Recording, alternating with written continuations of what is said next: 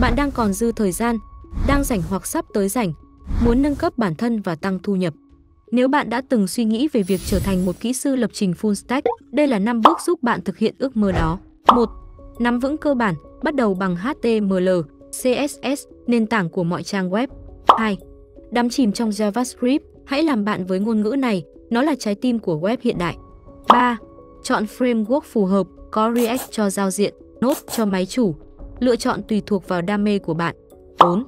Thực hành, thực hành và thực hành, xây dựng dự án riêng, trải nghiệm và học hỏi từ thực tế. 5. Kết nối với cộng đồng, tham gia nhóm, diễn đàn, học từ những người đi trước và tạo mối quan hệ. Và nếu bạn muốn tăng tốc quá trình này, hãy tham gia khóa học Full Stack cao cấp tại Cybersoft Academy.